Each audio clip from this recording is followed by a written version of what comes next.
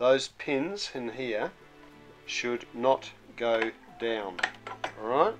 If this is turned this way and they go down, it will not pick up the button cap and keep it in there. So you must make sure that is like that. You set it up. I have one that's pre-done.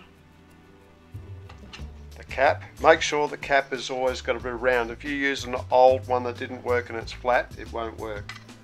Put that inside the left side. Put the paper in.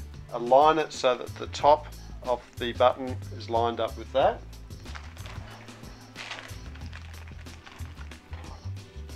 grab one cellophane and put it on top. Now, slide this over. Make sure that this is turned as right as far as possible. There's a little lever on the other side of here that you can just use to bring it round.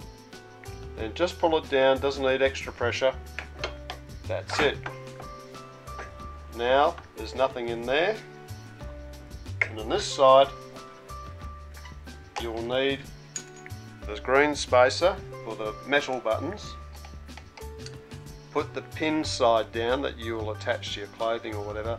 On this side that goes down and make sure that lines to the top as well so that when you slide across it's the right way around and it's horizontal when it's met, when it's uh, fitted to your clothing. So what you do is slide this over, pull down, that's got to go all the way down, click, up, out, and you have a button.